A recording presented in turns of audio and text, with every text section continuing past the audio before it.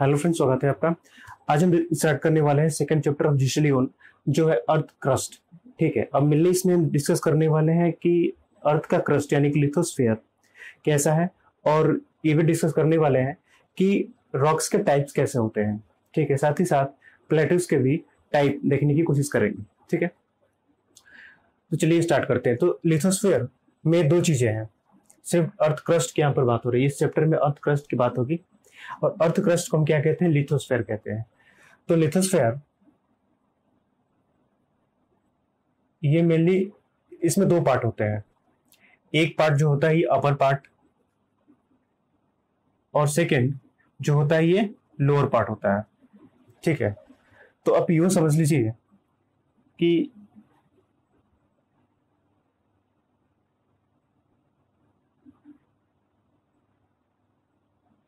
ये कुछ ऐसा है, ये हो जाएगा आपको अपर पार्ट लिथोस्फेयर का अपर पार्ट ये हो जाएगा लोअर पार्ट ठीक है, ये ये कॉन्टिनेंट है और ये ओशियन है. ठीक है दिस इज़ ओशियन तो जो अपर पार्ट होता है, ये क्या होगा? इससे कॉन्टिनेंट्स बनते हैं. अपर पार्ट जिससे कॉन्टिनेंट्स बनते हैं. यहाँ पर केमिकल कंपोजिशन क्या होगा? यहाँ पर केमिकल कंपोजिशन होगा सियोल यानी कि सिलिका एंड एल्यूमिनियम यहाँ की डेंसिटी क्या होगी? कम होगी। डेंसिटी कम होगी। डेंसिटी आपको करीब यहाँ पे 2.8 के आसपास में मिलेगी। यहाँ पर डेंसिटी आपको 3 के आसपास में मिलती है। तो डेंसिटी भी यहाँ पर आपको कम देखने को मिलेगी। साथ ही अब जो लोअर पार्ट होता है, यहाँ पर इससे क्या बनता है? ये लोअर पार्ट है। देखिए इससे लोअर पार्ट से ओशनिक फ्लोर बनते हैं। इससे क्या बनता है? ओशनिक फ्लोर बनता है।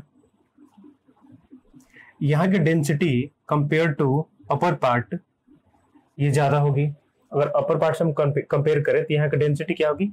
उससे ज़्यादा होगी।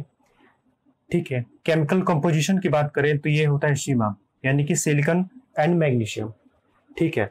तो लिथोस्फेयर के दो पार्ट हो गए upper part and lower part upper part जो क्या बनता है कॉन्टिनेंट्स बनते हैं। इसमें केमिकल कंपोजिशन शियोल होता है, यानी कि सिलिका एंड एल्यूमिनियम होता है। डेंसिटी इसकी क्या होती है, कम होती है कंपेयर टू लोअर पार्ट फिर ओरिजिनिक फ्लोर ये किससे बनता है, ये लोअर पार्ट से बनता है। जिसका केमिकल कंपोजिशन क्या है सीमा यानी कि सिल्कन एंड मैग्नीशियम और इसकी density compare to upper part ये ज़्यादा होती है। ठीक है? तो ये होगा लिथोस्फीयर की इसका किस तरीके से स्ट्रक्चर होता है। अब हम देखेंगे लिथोस्फीयर ये बना हुआ है, ये रॉक से बना हुआ है। अब रॉक कितने तरीके के होते हैं?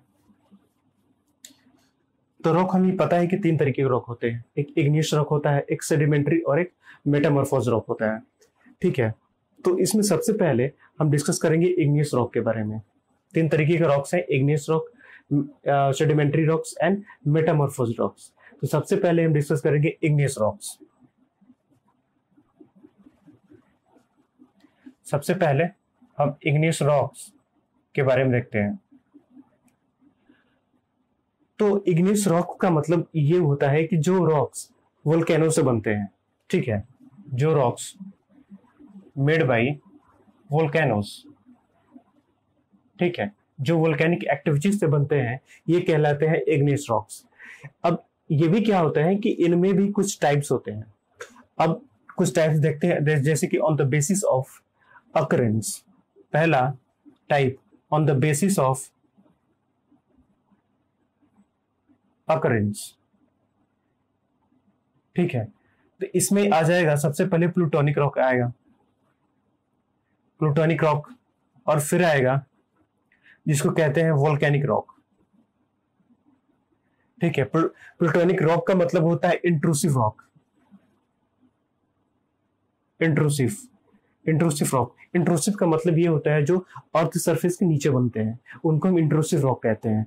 ठीक है, जिसको हिंदी में अभ्यंतरिक रॉक मतलब चट्टान भी कहा जाता है। तो ये हो गया इंट्रोसिव रॉक। इसमें जैसे कि आपको आएँगे ग्रेनाइट, डायोराइट, ठीक है, गैब्रो इसमें ये आते हैं। साथ ही साथ अब जो इंट्रोसिव रॉक्स होते हैं, ये क्या होते हैं? ये लाइटर इन कलर उसको ठीक है, उसको बाद में देखते हैं फिर। वोल्केनिक रॉक्स में क्या आएँगे?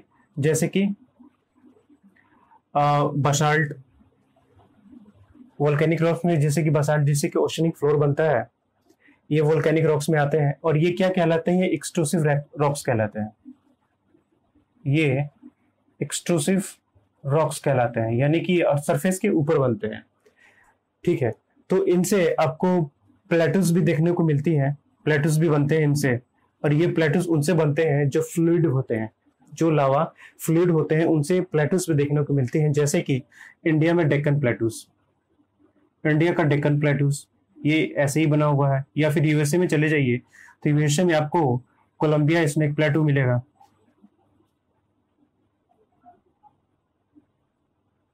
Columbia snake plateau. उसी तरह नॉर्दर्न आयरलैंड में एक एंट्री प्लेटू मिलेगा। नॉर्दर्न आयरलैंड में। तो ये सारे के सारे क्या है? ये सब सारे सारे ये लावा प्लेटूस हैं जो लावा से बने हुए हैं। ठीक है, ये है on the basis of occurrence एक होता है on the basis of composition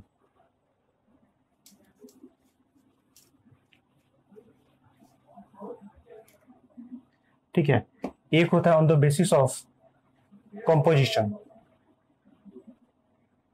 तो इसमें आता है एक एसिडिक कुछ लावा ज़्यादा एसिडिक होते हैं और एक आता है बेसिक ठीक है? एसिडिक का मतलब ये हुआ कि उसमें सिलिका की क्वांटिटी ज़्यादा होती है। जब सिलिका की क्वांटिटी ज़्यादा होगी तो वो जो लावा होता है, वो फ्लूड होता है। वो फ्लूड होता है। फ्लूड होने का मतलब उसकी डेंसिटी कम होती है। ठीक? फ्लूड होगा, इसके बाद जो कलर होता है, ये लाइट कलर का होता है। कलर ये लाइट कलर का होता है एसिडिक में जैसे कि ग्रेनाइट रायोलाइट ग्रेनाइट क्या हो, गया? ये इंट्रोसिव रॉक रॉक हो गया और रायोलाइट ये क्या हो गया? ये एक्सट्रोसिव रॉक हो गया जिनकी एसिडिक प्रॉपर्टी बहुत ज़्यादा होती है। बेसिक लावा होते हैं इसमें बेसिक ऑक्साइड्स आपको ज़्यादा देखने को मिलेंगे। यानी कि इसमें बेसिक ऑक्साइड्स आपको ज़्यादा देखने को मिलेंगे जैसे कि एल्युमिनियम हो गया ठीक है? मैग्नीशियम हो गया, या फिर आपको आयरन हो गया, ये आपको इसमें ज़्यादा देखने को मिलते हैं। और ये बेसिक जो लावा होते हैं, ये फ्लूड नहीं होते हैं, ठीक है ये डेंसर होते हैं। ये डेंसर होते हैं और इनका कलर जो होता है, ये लाइट नहीं होता है ये डार्क होता है। इनके कलर डार्क होता है, ठीक है। तो ये इग्नियस रॉक्स जिनको दो बेसिस पर डिफाइन किया गया क्लासिफाई किया गया, एक कंपोजिशन के बेसिस पर। यानी कि एसिडिक एंड बेसिक और एक था अक्रेंस के बेसिस पर जिसमें प्लूटोनिक रॉक्स और वोल्केनिक रॉक्स दो चीज़ें हैं।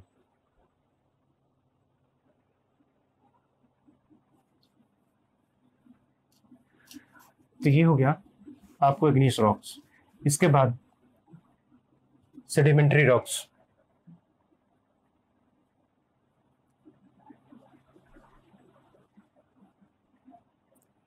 इसके बाद सेडिमेंट्री रॉक्स सेडिमेंट्री रॉक्स का मतलब होता है जो एक्यूमुलेशन से बनते हैं, ठीक है?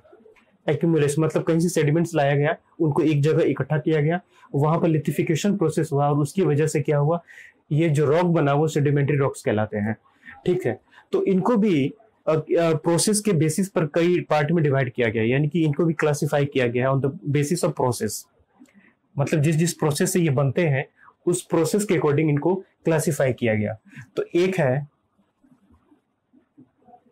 mechanically formed mechanically formed sedimentary rocks एक है जिसको कहते हैं organically organically formed sedimentary rocks और एक होते हैं जिनको कहते हैं chemically formed chemically formed sedimentary rocks ठीक है? तो मैकेनिकली फॉर्म्ड सेडिमेंट्री रॉक्स का ये मतलब होता है कि मान लीजिए कोई यहाँ एक रॉक ए है कोई बी है रॉक कोई सी रॉक है। यहाँ से कुछ सेडिमेंट्स नि, निकले इरोजन या किसी वजह से। यहाँ से कुछ सेडिमेंट निकले यहाँ से कुछ सेडिमेंट निकले और ये तीनों जाके एक जगह एक्मुलेट होके एक नए रॉक का ये फॉर्मेशन करते हैं तो इस तरीके से जो रॉक बनता है, उसको कहते हैं हम मैकेनिकली फॉर्म रॉक्स यानी कि यहाँ पे जो भी सेडिमेंट के एक्यूमुलेशन से जो रॉक बना, वो सेडिमेंट क्या होता है? वो कई दूसरे दूसरे रॉक से निकले हुए थे, हुए होते हैं, उनको एक जगह ले जाके एक नए रॉक का फॉर्मेशन होता है। तो इस तरीके से जो रॉक बनता है, उसको कहते हैं हम मैकेनिकली रॉक्स ठीक है, जैसे कि सैंड स्टोन जैसे कि सैंड स्टोन होता है। ये इसी तरीके का रॉक होता है जो मैकेनिकली फॉर्म्ड होता है।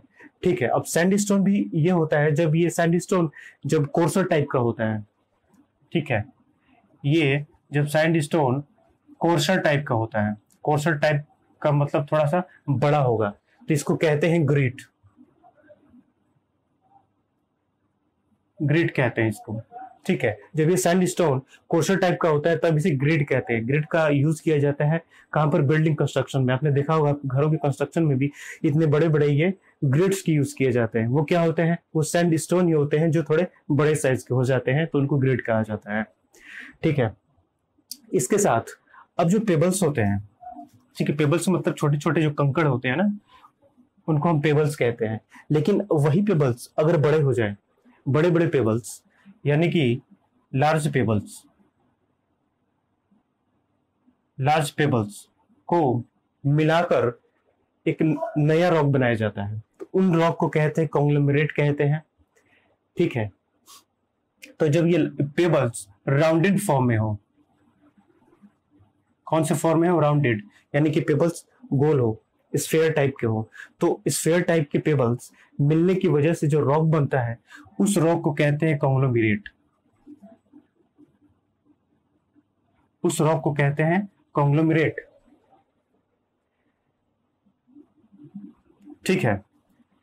और यही पेबल्स जब एंगुलर फॉर्म में होते हैं। एंगुलर फॉर्म ये राउंडेड फॉर्म में जो पेबल्स मिल के नए रॉक का निर्माण करते हैं तो वो क्या होता है? कॉन्ग्लोमरेट कहलाता है। लेकिन जब ये लार्ज पेबल्स एंगुलर फॉर्म में हो एंगुलर फॉर्म का मतलब ये होता है या तो ट्रायंगल शेप में हो, या फिर ये स्फेयर या फिर ये रेक्टेंगुलर शेप में हो, यानी कि कहने का मतलब इनके जो ये एजेस होते हैं, ये काफ़ी शार्प होने चाहिए तो इनको हम एंगुलर फॉर्म कहते हैं। ठीक है? तो इस तरीके से जो रॉक बनता है, उसको कहते हैं, क्या कहते हैं उसको? ब्रेशिया। उसको कहते हैं हम ब्रेशिया। ठीक है तो दो तरीके का रॉक यहाँ पर देखने को मिला। एक मिला कॉन्ग्लोमिरेट और एक मिला ब्रेशिया। जब लार्ज पेबल्स राउंड होते हैं, ठीक है, गोल होते हैं तो उनसे जो रॉक बनता है वो कॉन्ग्लोमिरेट कहलाता है। और जब यही राउंड पेबल यही जब लार्ज पेबल्स एंगुलर शेप वाले होते हैं, इस तरीके के शेप वाले होते हैं तो इनसे मिलकर जो रॉक बनता है, उसको कहते हैं हम ब्रेशिया। ठीक है ठीक है? तो ये पूरा पूरा फेनोमिना जो हुआ, ये मैकेनिकली फॉर्म सेडिमेंट्री रॉक का हुआ, ठीक है? ऑर्गेनिकली फॉर्म में ये जो सेंड यहाँ पर जो रॉक्स बनते हैं सेडिमेंट्री रॉक्स वो क्या होते हैं? वो लिविंग ऑर्गेनिज्म से बनते हैं। ठीक है ऑर्गेनिकली फॉर्म जो होता है, इसमें जो रॉक बनते हैं, ये लिविंग ऑर्गेनिजम्स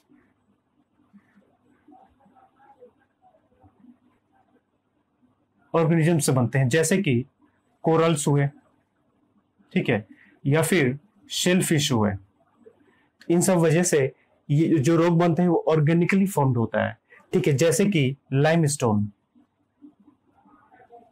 जैसे कि लाइम स्टोन हुआ,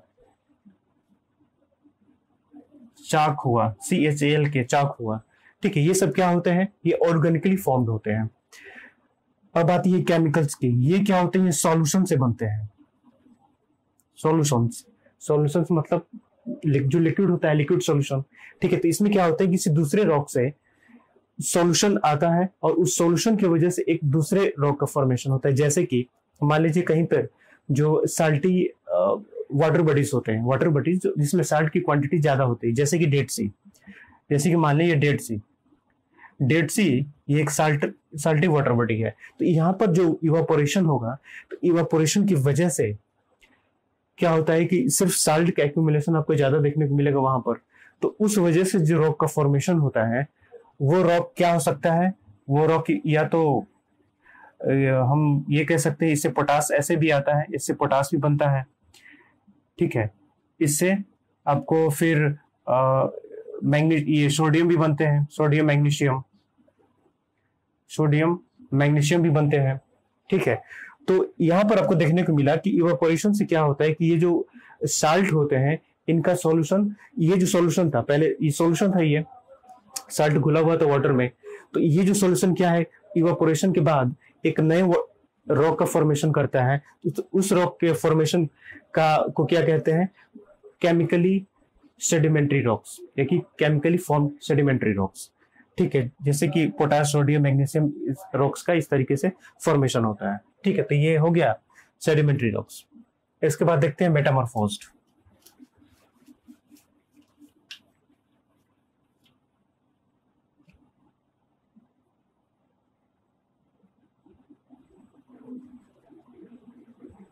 इसके बाद है मेटामोर्फस रॉक्स इसमें क्या होता है कि मेनली आपको टेम्परेचर टेम्परेचर और प्रेशर का पूरा का पूरा रोल होता है। ठीक है?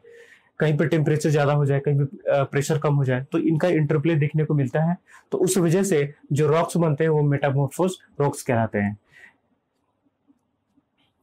ठीक है, जैसे कि लाइम स्टोन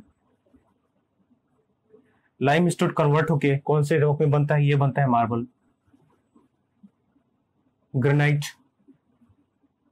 कन्वर्ट होके ये बनता है क्वार्टजाइट ये बनता है क्वार्टजाइट उसी तरह कोल ये कन्वर्ट होके बनता है ग्रेफाइट ठीक है, जैसे कि क्ले ये कन्वर्ट होके बनता है स्लेट तो यहाँ पर आपको जो प्रोसेस देखने को मिलेगा, इसमें टेम्परेचर और प्रेशर का ज़्यादा रोल देखने को मिलता है और इस वजह से जो रॉक्स बनते हैं, वो मेटामोर्फोस रॉक्स कहलाते हैं। ठीक है तो इस तरीके से जो रॉक्स था, और रॉक्स के जो तीनों टाइप थे इग्नियस रॉक्स सेडिमेंट्री रॉक्स और मेटामोर्फोस रॉक्स ये तीनों कंप्लीट हुए। अब हम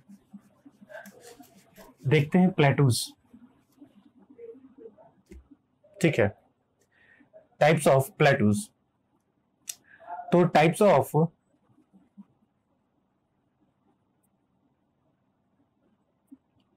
प्लेटो इसमें पहला आता है, ये आएगा वोल्केनिक प्लेटूस। ठीक है? ये आएगा वोल्केनिक प्लेटूस, यानी कि जो प्लेटूस वोल्केनिक एक्टिविटीज़ की वजह से बनते हैं, जैसे कि इंडिया का डेकन प्लेटू। वोल्केनिक एक्टिविटीज़ से बना हुआ है, ठीक है? या फिर हम Columbia snake plateau of USA, जैसे कि इंडिया का टेकन प्लेटू, या फिर यूएसए का कोलंबिया स्नेक प्लेटू। ये क्या होते हैं? ये वोल्केनिक एकोमुलेशन से बने होते हैं। ठीक है?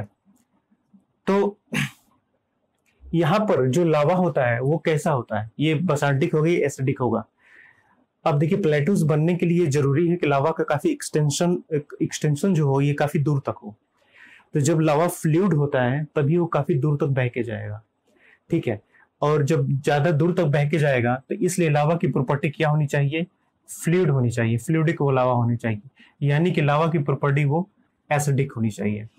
अगर बासाल्टिक अगर बेसिक लावा है वो तो वो फ्लूड नहीं होता है, वो विस्कस होता है, वो ज़्यादा गाढ़ा होता है, ठीक है, वो ज़्यादा डेंस होता है तो ज़्यादा दूर तक नहीं जा पाता, ठीक है। तो वोल्केनिक प्लेटूस बनने के लिए जो लावा की प्रॉपर्टी है वो एसिडिक होनी चाहिए, ठीक है, तभी वो फ्लूड होगा, तभी वो ज़्यादा दूर तक बहके जाएगा। उससे ही लावा बनेगा। तो जैसे कि Deccan plateau Columbia snake plateau या फिर आयरलैंड का जो इंटरन प्लेटू है, इस तरीके से बने हुए हैं। ठीक है?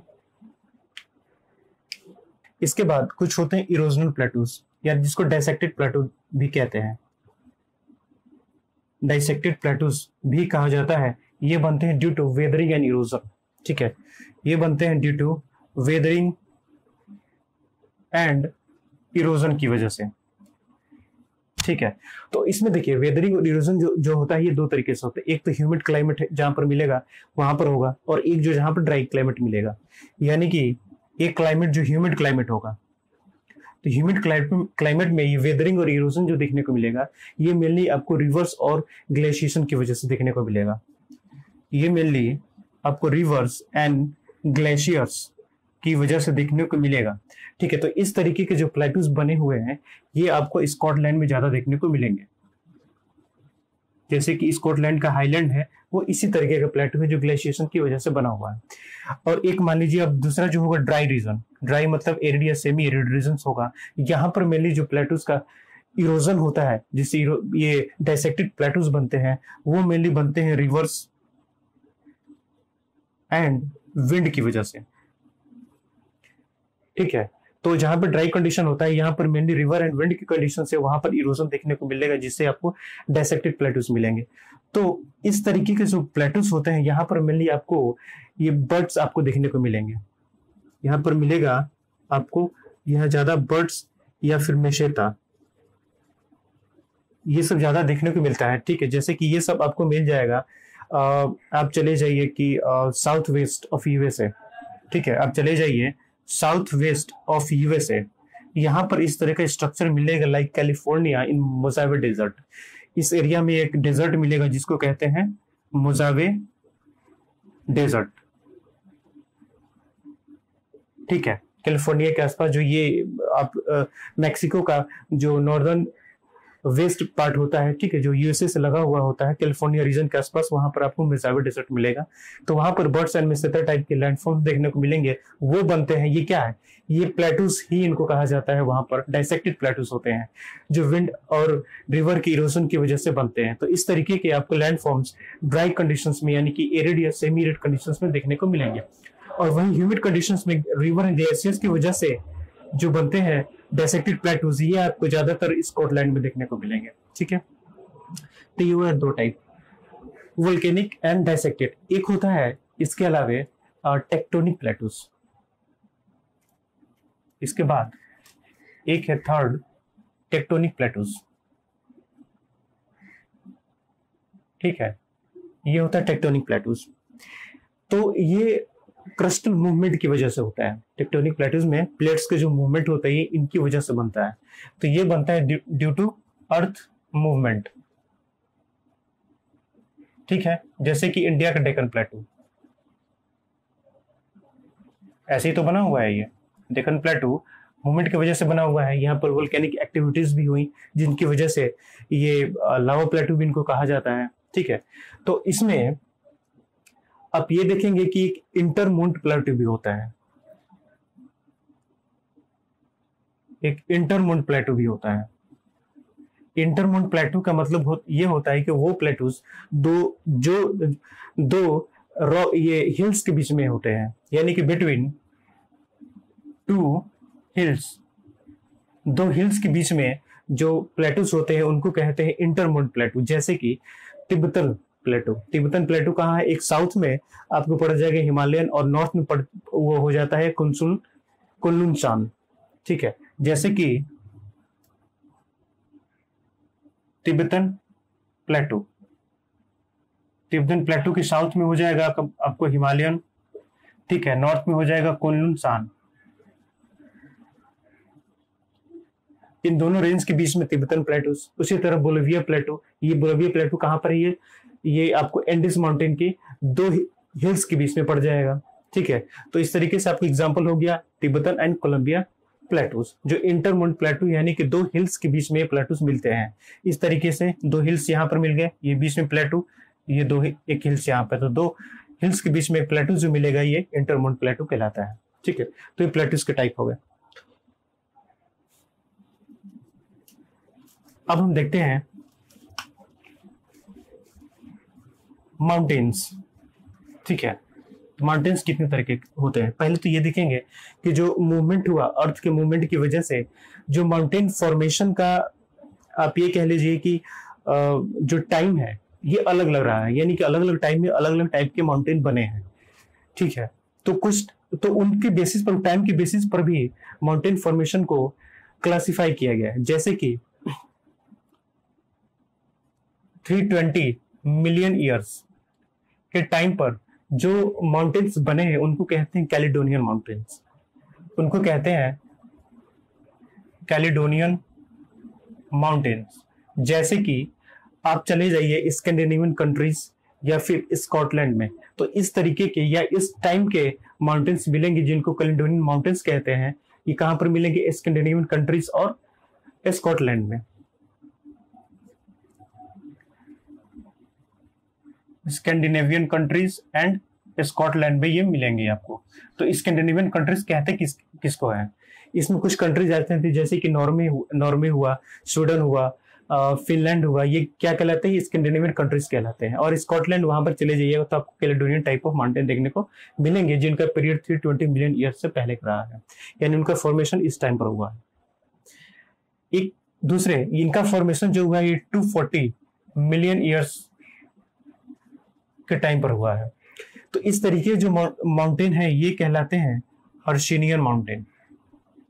ये कहलाते हैं हर्शिनियन माउंटेन। जैसे कि, ये काफ़ी वाइड रेंज के हैं। जैसे कि यूराल हुआ। यूराल कहाँ है? ये पड़ता है रशिया में, जो यूएसए जो सॉरी ये रशिया में पड़ता है, जो यूरोप और एशिया को ये डिवाइड करता है। यूराल मिलेगा। Pennines and Wales of Britain. ठीक है, ये माउंटेन्स जो ब्रिटेन में मिलेंगे। उसके बाद horst of Germany horst of Germany USA में चले जाइए तो एप्लेशन माउंटेन वहाँ पर मिलेगा। यूएसए में एप्लेशियन माउंटेन मिलेगा। ये सब क्या है? ये सब इस टाइम के ही बने हुए हैं। ठीक है, या फिर हाईलैंड्स ऑफ़ या फिर highlands of Siberia highlands of Siberia and China ये जो बने हुए ये भी इसी टाइम के बने हुए हैं। तो जिनको हम हर्शनियन टाइप ऑफ़ माउंटेन्स कहते हैं। ठीक है? तो ये पहले बने हुए हैं। और सबसे जो यंग माउंटेन है, ये बने हुए हैं करीब थर्टी मिलियन ईयर्स एगो जिनको कहते हैं अल्पाइन माउंटेन्स ये काफ़ी यंग माउंटेन है। क्योंकि सबसे बाद में बने हुए हैं। जैसे कि Alps Alps mountain Himalayan north America में चले जाइए तो वहाँ पर आपको मिल जाएँगे Rockies south Africa sorry south America में चले जाइए तो वहाँ पर मिल जाएँगे एंडीज ये रॉक सिस्टम जो है, ये सबसे यंग है और सबसे बाद में मिले हुए हैं। तो इस वजह से क्या हुआ है कि इनका इरोजन कम हुआ है, क्योंकि सबसे बाद में बने हुए हैं। इनका इरोजन कम होने की वजह से ये सबसे ज़्यादा हाईएस्ट हाइट वाले ये माउंटेन्स हैं एक्सटेंसिव रेंज है ये बहुत पहले के बने हुए हैं इसलिए इनका इरोजन बहुत ज़्यादा हो चुका है इसलिए अब इतने ज़्यादा एलिवेटेड नहीं है। ये बहुत बाद में बने इनका इरोजन कम हुआ है इसलिए ये ज़्यादा हाइट वाले देखने को मिलते हैं। तो आपको पता ही होगा हिमालयन रॉकीज यहाँ पर काफ़ी हाइट वाले आपको पिक्स मिलते हैं। ठीक है। तो ये था कि कौन से टाइम पर कौन से आ, किस तरीके के माउंटेन का फॉर्मेशन हुआ है, उनका क्लासिफिकेशन अब माउंटेन कितने तरीके के होते हैं? टाइप्स ऑफ़ माउंटेन इसमें सबसे पहले आता है वोल्केनिक माउंटेन उसको बाद में देखते हैं। सबसे पहले हम देखते हैं फोल्ड माउंटेन ठीक है? तो फोल्ड माउंटेन जो होता है, ये कैसे बनता है? ये कंप्रेसिव फोर्स की वजह से होता है। फोल्ड माउंटेन ये कंप्रेसिव फोर्स की वजह से होता है और कंप्रेसिव फोर्स की वजह से क्या होता है कि एंटीक्लाइन और साइनक्लाइन जनरेट होते हैं। कंप्रेसिव फोर्स की वजह से। एंटीक्लाइन एंड साइनक्लाइन ये जनरेट होता है और इनकी वजह से ही फोल्ड माउंटेन्स बनते हैं। जैसे कि जितने भी अल्पाइन्स माउंटेन ये जो अभी हमने अल्पाइन देखा, जितने भी अल्पाइन माउंटेन्स होते हैं, चाहे हिमालय हो अल्प्स हो एंडीज हो, या रोकीज हो, ये सारी की सारी क्या है, ये फोल्ड माउंटेन्स है। ठीक है तो इनमें फोल्डिंग की प्रोसेस की वजह से ये माउंटेन्स बनते हैं। अब ये फोल्डिंग जो होता है, ये कई तरीके के होते हैं। ठीक है फोल्डिंग जैसे कि ये जो फोल्डिंग का प्रोसेस ये जो फोल्डिंग का प्रोसेस होता है, ये कई तरीके का होता है, जैसे कि साइमेट्रिकल फोल्ड होते हैं। साइमेट्रिकल फोल्ड हो गया ए साइमेट्रिकल फोल्ड ठीक है। ए साइमेट्रिकल फोल्ड हुआ आइसोक्लिनर फोल्ड होता है। फिर मोनोक्लिनर फोल्ड हो जाएगा। फिर आपको रिकम्बेंट हो जाएगा। फिर नैपी ये भी होती है। फिर आपको ओवरटर्न देखने को मिलेगा। ये सारे क्या है? ये सारे फोल्ड के टाइप्स हैं। इस तरीके के फोल्ड्स आपको देखने को मिलते हैं फोल्ड माउंटेन्स के रीजन में, क्योंकि फोल्ड माउंटेन फोल्डिंग के थ्रू ही बनता है। फोल्डिंग का मतलब होता है बेंड ठीक है? दो चीज़ें होती हैं। आप हमेशा याद रखिएगा एक एक होता है फोल्डिंग और एक होता है फॉल्टिंग ये दोनों एक चीज़ नहीं है। जो फोल्डिंग का प्रोसेस होता है, इसमें जो क्रस्ट है अर्थ क्रस्ट उसकी बेंडिंग होती है। यानी कि वो बेंड होता है। वो इस तरीके से होगा। यहाँ देखिए बेंड हुआ ना? यहाँ पर भी बेंड हुआ क्रस्ट ठीक है तो यहाँ पर बेंड फोल्डिंग में बेंड होता है। फोल्डिंग में बेंड नहीं होता। फोल्डिंग में क्रैक होता है। फोल्डिंग में क्रैक होता है। ठीक है, ये यहाँ पर क्रैक जनरेट हुआ। इस क्रैक जनरेट यहाँ पर क्रैक जनरेट हुआ। यहाँ पर क्रैक जनरेट हुआ। यहाँ पर क्रैक जनरेट होने की वजह से ये बीच वाला जो पार्ट था, ये नीचे चला गया। तो ये नीचे जाने की वजह से ये देखिए, ऊपर वाला दो पार्ट ऊपर रह गया, जिसको माउंटेन्स कहेंगे। अभी नीचे चला गया, इस तो यहाँ पर वैली क्रिएट होगी, जिसको ग्रेवन कहते हैं। जैसे कि ब्लॉक माउंटेन में होता है। ठीक है। तो फॉल्टिंग में क्या होता है कि क्रैक होता है और क्रैक की वजह से यहाँ पर माउंटेन्स बनते हैं, लेकिन फोल्डिंग में बेंड की वजह से माउंटेन्स बनते हैं। यहाँ पर क्रैक नहीं होता है। ठीक है, ये हमेशा ही आप याद रखिए डिफरेंस है दोनों के बीच में। तो ये फोल्ड माउंटेन इसके बाद सेकेंड हम देखते हैं ब्लॉक माउंटेन्स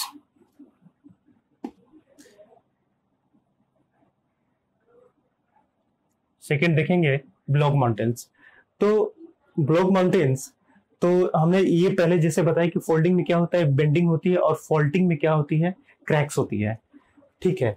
तो आपको यहाँ पर देखने को मिलेगा, यहाँ पर आपको फॉल्टिंग देखने को मिलेगी। ब्लॉक माउंटेन्स कैसे बनते हैं? ये फॉल्टिंग से बनते हैं। ठीक है? यहाँ पर फॉल्ट बनता है, यानी क्रैक जनरेट होते हैं। अब यहाँ पर आपको कुछ ये जानना होगा कि फॉल्ट कई तरीके के होते हैं। कुछ नॉर्मल फॉल्ट होते हैं, कुछ रिवर्स फॉल्ट होते हैं। ठीक है, कुछ ट्रांसकरेंट फॉल्ट होते हैं। कुछ नॉर्मल फॉल्ट होते हैं। कुछ रिवर्स फॉल्ट होते हैं। रिवर्स फॉल्ट कुछ ट्रांसकरेंट फॉल्ट होते हैं। तो नॉर्मल फॉल्ट जो बनते हैं, जहाँ पर टेंसाइल फोर्स लगता है, जहाँ पर टेंसाइल फोर्स लगता है, ये वहाँ पर नॉर्मल फोर्स बनते हैं। अब रिवर्स फोल्ड कहाँ पर बनेंगे? ये वहाँ पर बनते हैं जहाँ पर कंप्रेसिव फोर्स लगता है। जहाँ पर कंप्रेसिव फोर्स लगता है या वहाँ पर ये रिवर्स फोल्ड बनते हैं। और आपको ये भी पता होगा कि अब ये तो पता होगा इलेक्ट्रिक आपने पढ़ा होगा कि कुछ एक दूसरे से दूर जाते हैं, तब वो टेंसाइल फोर्स होता है। जब एक दूसरे के पास आते हैं, तब वो कंप्रेसिव फोर्स लगता है। लेकिन जब एक दूसरे के पैरेलल वो स्लिप करते हैं, एक दूसरे के पैरेलल इस तरीके से बिना कोलिजन हुए, जब मूवमेंट होता है, तब उसको कहते हैं पैरेलल मूवमेंट ठीक है? तो पैरेलल मूवमेंट की वजह से जो फोल्ट बनता है, वो ट्रांस करेंट फोल्ड होता है।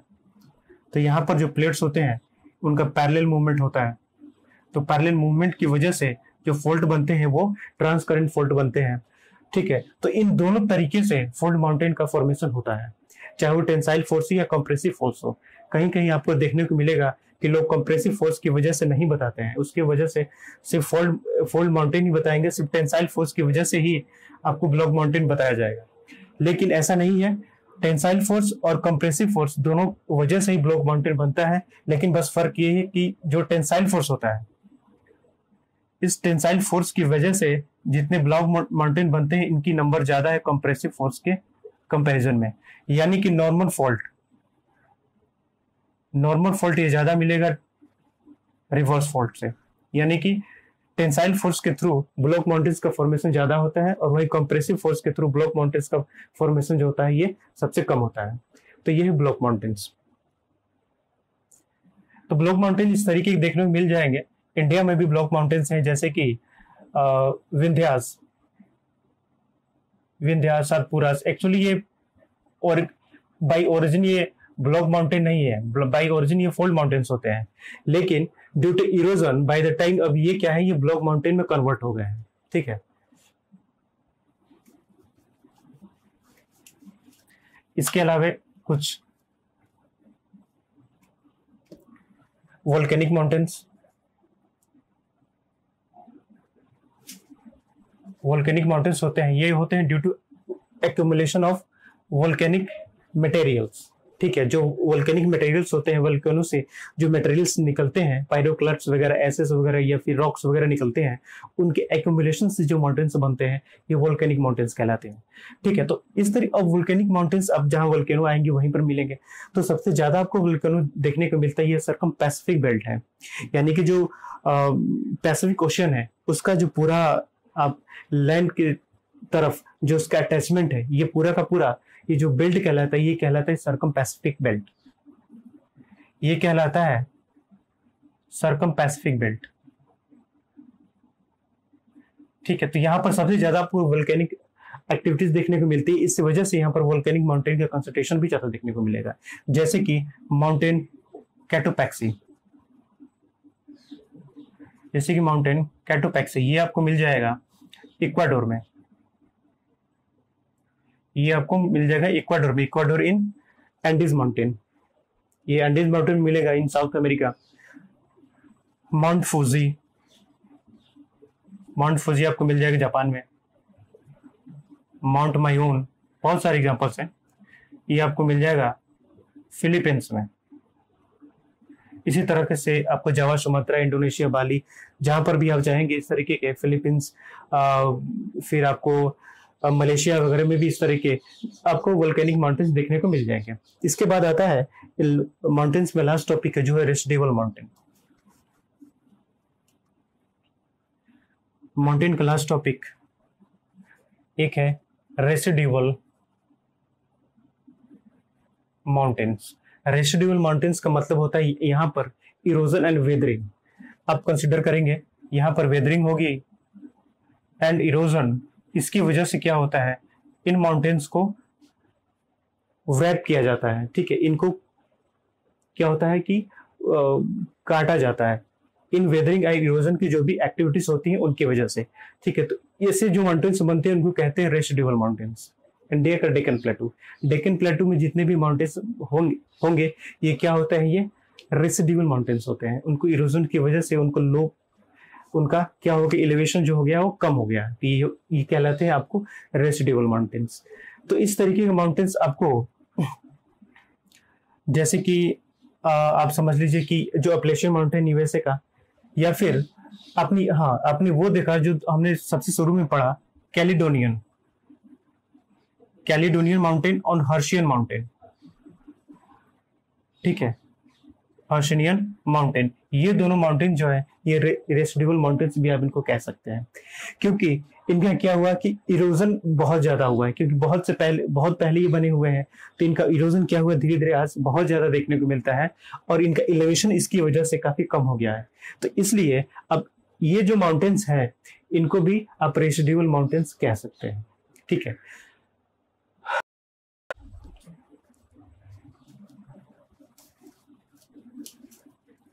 अब देखते हैं हम planes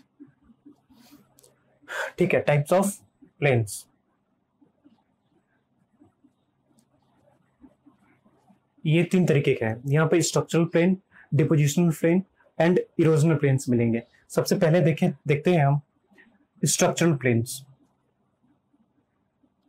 structural plains structural plains वैसे प्लेन होते हैं जहाँ पर आपको अर्थ मूवमेंट या फिर क्रस्टल मूवमेंट काफ़ी कम देखने को मिलेगा या फिर नहीं मिलेगा। ठीक है तो ऐसे जो प्लेन्स कहलाते हैं स्ट्रक्चरल प्लेन्स होते हैं जहाँ पर क्रस्टल मूवमेंट आपको देखने को नहीं मिलेगा। ठीक है, यानी कि टेक्टोनिक एक्टिविटीज़ की वजह से ये नहीं बनते हैं। ये स्ट्रक्चरल प्लेन्स कहलाते हैं, जैसे कि ग्रेट प्लेन ऑफ़ यूएसए या फिर सेंट्रल हाईलैंड ऑफ़ ऑस्ट्रेलिया। ये जो प्लेन्स है ये स्ट्रक्चरल प्लेन्स होते हैं जहाँ पर कस्ट, ये कस्टल मूवमेंट की वजह से नहीं बनते हैं। इनका रोक ही क्या होता है? इस तरीके से ओरिजेंटली वो इम्बेडेड होता है कि ये प्लेन्स इस तरीके से बने हुए हैं। तो ये स्ट्रक्चर प्लेन्स होते हैं। कुछ क्या होता है? डिपोजिशनल प्लेन्स होते हैं। कुछ होते हैं डिपोजिशनल प्लेन्स ठीक है? तो डिपोजिशनल प्लेन्स क्या होता है कि इसमें रिवर्स हो ग्लेशियर्स हो विंड की वजह से फिर सी सी वेव्स की वजह से क्या होता है कि सेडिमेंट्स को लाके बिछाया जाता है एक जगह पे। ठीक है तो इस तरीके के जो होते हैं, यहाँ पर फ्लड प्लेन्स आपको देखने को मिलेगा। ये फ्लड प्लेन्स यहाँ पर एलुवियल डिपोजिट्स आपको देखने को मिलेंगे। ठीक है, यहाँ पर डेल्टाइक स्ट्रक्चर्स देखने को मिलेगा। तो इस तरीके से ये जो बनते हैं डिपोजिशनल प्लेन्स ये एग्रीकल्चर के लिए काफ़ी इंपॉर्टेंट होते हैं। जैसे कि आप, हम गंगा डेल्टा की बात करें। ठीक है, जहाँ पर गंगा डेल्टा है या फिर गंगा प्लेन है, यहाँ पर देखेंगे कि राइस और जूट का एग्रीकल्चर काफ़ी होता है। उसी तरह जब आप इजिप्ट में जाइएगा तो वहाँ पर नाइल, जो डेल्टा है, नाइल डेल्टा के नाइल रिवर में आपको राइस और कॉटन का एग्रीकल्चर ज़्यादा देखने को मिलेगा। वहीं आप नॉर्दर्न चाइना में चले जाइए तो वहाँ पर हांगो रिवर की वजह से काफ़ी एग्रीकल्चर काफ़ी डाइवर्सिफाइड फॉर्म में देखने को मिलती है। तो क्या होते हैं? डिपोजिशनल प्लेन्स होते हैं। तो अब ये डिपोजिशन प्लेन्स रिवर की वजह से भी बनते हैं ग्लेशियर्स की वजह से भी बनते हैं, फिर सी वेव्स की वजह से भी बनते हैं विंड की वजह से भी बनते हैं तो थोड़ा उनको हम अलग अलग देख लेते हैं। ठीक है। अब मान लीजिए अगर ग्लेशियर्स की वजह से बनता है तो ग्लेशियर्स क्या होते हैं? अपने आउटवॉश इनका जो आउटवॉश प्लेन होता है, जहाँ पे सेडिमेंट्स ला के बिछाते हैं। इस आउटवॉश प्लेन में अगर ये unsorted unsorted fluvio glacial sands बिछाते हैं ग्लेशियल सैंड्स एंड अगर ये ग्रेवल बिछाते हैं। ठीक है, एक ये सेडिमेंट्स बिछाते हैं और दूसरी चीज़, ये कभी कभी बॉल्डर्स भी बिछाते हैं वहाँ पर। ये दो तरीके के सेडिमेंट्स वहाँ पर बिछाए जाते हैं ग्लेशियर्स की वजह से। ग्लेशियर्स के आउटवर्स प्लेन में। तो अब देखिए, जब इस तरीके के सेडिमेंट्स वहाँ पर बिछाए जाते हैं अनसॉर्टेड फ्लोवियो ग्लेशियर सैंड्स या फिर ग्रेवेल तो इस तरीके के सॉल्ट्स की वजह से, ये सेडिमेंट्स की वजह से वो जो एरिया होता है, वो बेयर लैंड हो जाता है। यानी कि यहाँ पर एग्रीकल्चर आपको देखने को नहीं मिलेगा। बेयर लैंड यानी कि वो फर्टाइल एरिया नहीं होगा। फर्टाइल एरिया नहीं होगा तो वहाँ पर एग्रीकल्चर का डेवलपमेंट देखने को आपको ज़्यादा नहीं मिलेगा। जैसे कि some part of Scotland Scotland का कुछ पार्ट इस तरीके के सेडिमेंट से बना हुआ है। वहीं जब ग्लेशियर्स अपने आउटवर्स प्लेन में बॉर्डर्स ला के बिछाती है तो यहाँ पर आपको एग्रीकल्चर के ये फर्टाइल होते हैं तो यहाँ पर एग्रीकल्चर का डेवलपमेंट आपको देखने को मिलेगा। तो इस तरीके का आपको मिलता है कहाँ पर? इस तरीके का आपको मिलता है जैसे कि आप देख लीजिए west mid west mid west of USA. यहाँ पर मिल जाएगा। जर्मनी में मिलेगा आपको। फिर आपको हॉलैंड में मिलेगा। ठीक है? यहाँ पर क्या हुआ? ग्लेशियर्स ने बॉर्डर्स लाके बिछाया, इसलिए एग्रीकल्चर का डेवलपमेंट वहाँ पर देखने को मिलता है। अब हम देखते हैं सी वेब्स। सी वेब्स भी क्या करती हैं? कि सेडिमेंट्स को लाके कोस्टल रीजन में बिछाती है। सी वेब्स ये क्या करती है? ये भी सेडिमेंट्स में सेडिमेंट्स को कोस्टल रीजन में लाके बिछाती है, जिससे कोस्टल प्लेन का फॉर्मेशन होता है। जैसे कि coastal plain of Netherland Belgium ठीक है? तो ये क्या है? सारा कोस्टल प्लेन ये बना हुआ है सी वेब्स की सेडिमेंटेशन की वजह से। नीदरलैंड या बेल्जियम का जो कोस्टल प्लेन है। तो ये सी वेब्स हो गया। अब एयर के थ्रू होता है या फिर विंड कह लें ठीक है विंड की थ्रू होता है जिसको कहते हैं एवलियन लैंडफॉर्म्स ठीक है। तो विंड क्या करते हैं? लाके बिछाते हैं तो इनको कहते हैं हम लोइस प्लेन विंड क्या करते हैं? सेडिमेंट्स को लाके बिछाते हैं तो उनको कहते हैं लोइस प्लेन ठीक है। तो ये लोइस प्लेन आपको पंपास वाले रीजन में भी मिल जाएगा। पंपास कहाँ पे मिलता है? अर्जेंटीना में। अर्जेंटीना के ग्रासलैंड पंपास कहलाता है। तो पंपास वाले में, रीजन में भी आपको लोइस प्लेन देखने को मिलेगा।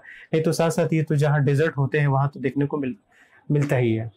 जैसे कि यूएसए का मोजावर डेजर्ट, जो यूएसए के कहाँ पर पड़ता है? साउथ एंड वेस्ट डायरेक्शन में पड़ता है मोजावर डेजर्ट। ये वहाँ पर भी आपको देखने को मिलेगा। ठीक है? तो ये हो गया आपको डिपोजिशनल प्लेन्स जो डिपोजिशन के थ्रू बनता है। अब देखते हैं इरोजनल प्लेन्स और इरोजनल प्लेन्स में आपको मेनली दो चीज़ पढ़ने हैं।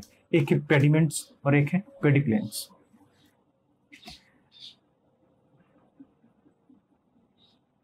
ठीक है इरोजनल प्लेन्स ये थर्ड है, जिसमें मेनली दो चीज़ पढ़ने हैं आपको।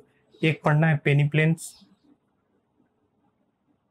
और एक पढ़ना है पेडी प्लेन्स पेडीप्लेन्स, जिसको पेडीमेंट पेडीमेंट भी कहते हैं। ठीक है। तो देखिए, पेनीप्लेन्स क्या होता है? ये सबसे पहली चीज़ कि ये ह्यूमिड कंडीशन में जहाँ पर होगा, ये ह्यूमिड कंडीशन में आपको देखने को मिलेगा, ह्यूमिड कंडीशन में। तो अब ह्यूमिड कंडीशन में अब ये मान लीजिए कि ये आपका कोई हिल है, इस तरीके से, ठीक है, ये इस तरीके से कोई हिल है, ठीक है। तो यहाँ दो तरीके से इरोजन होगा एक तो अपवर्ड इरोजन होगा, यानी कि इसकी हाइट कम की जाएगी, और दूसरा इरोजन होगा ऐसे, यानी कि ये पीछे की तरफ़ रिट्रीट करेगा। ठीक है? तो यहाँ पर दो तरीके से इरोजन देखने को मिला। एक अपर यहाँ से इरोजन देखने को मिलेगा ऊपर से। तो जब ऊपर से इरोजन होगा तो इसके इलेवेशन कम होगा, इसकी हाइट कम होगी। एक इरोजन आपको इधर से देखने को मिलेगा तो इस तरीके से क्या होगा कि इसका एक्सटेंट ये कम होगा, यानी कि और ये पीछे की तरफ़ पीछे की तरफ़ जाएगा। तो जहाँ पर इस ह्यूमिड कंडीशन में ये दोनों तरीके की जो इरोजन देखने को मिलती है अपवर्ड इरोजन भी देखने को मिलेगा, साथ ही साथ साइडवर्ड इरोजन भी देखने को मिलेगा। ठीक है तो इस तरीके से जो लैंडफॉर्म्स बनते हैं, अब ये क्या होगा? ये इसकी हाइट कम होगी धीरे धीरे कम होते होते ये कम होते होते ये ऐसे हो जाएगी। और यहाँ से भी इरोजन होगा तो ये कम होते होते ये होते होते फाइनली एक ऐसा टाइम आएगा जब यहाँ पर ये इस तरीके का आपको फीचर देखने को मिल सकता है इरोजन होते होते। ऊपर से भी कम हुआ, नीचे से भी ये क्या होगा? ये ऐसे ऐसे, ये कम होता जाएगा तो इस तरीके का फीचर मिलेगा। तो ऑलमोस्ट एक आपको प्लेन जैसा ये नज़र आता है तो ये इस तरीके से जो प्लेन बनता है, उसको कहते हैं हम पेनी प्लेन और जब ये एक छोटा छोटा यहाँ पर इस तरीके से लास्ट में जो माउंटेन्स टाइप के स्ट्रक्चर दिखेंगे एक्चुअली उतनी एक्सटेंसिव वो नहीं होते हैं, वो इसी तरीके से होते हैं, ठीक है? तो थोड़े जो लास्ट ये जो ये जो पूरा जो इरोजन का प्रोसेस चल रहा है, इस ओरिजन के, इस इरोजन के प्रोसेस में लास्ट में छोटे छोटे वहाँ पे लैंडफॉर्स बच जाते हैं, जिसको कहते हैं मोनाटनॉक्स ठीक है? तो इस तरीके से जो प्लेन बना बोध इरोजन की वजह से, यहाँ पे एक हाइट भी कम हो रहा है, यहाँ पर इसकी साइड भी कम हो रही है। तो इस बोध इरोजन की वजह से जो प्लेन बना है, इसको कहते हैं हम पेनी प्लेन्स जो ह्यूमिड कंडीशन में होते हैं। और इस पूरे इरोजन के साइकिल में बाद में कुछ छोटे छोटे लैंडफॉर्स बच जाते हैं, जिसको कहते हैं मोनाडनॉक्स उन छोटे छोटे लैंडफॉर्स को कहते हैं हम मोनाडनॉक्स मोनाडनॉक्स आपको यूएसए में काफ़ी मिलेंगे। ठीक है। अब वही पेडिप्लेन्स या फिर पेडिमेंट्स ये क्या होता है? यही माउंटेन है। ठीक है। इसमें अपवर्ड इरोजन आपको देखने को नहीं मिलेगा। पहले ये बता दूँ, ये कहा होता है? ये सेमी एरिड या फिर एरिड रीजन में होते हैं ये। ठीक है? और ये रनिंग वाटर के थ्रू होते हैं।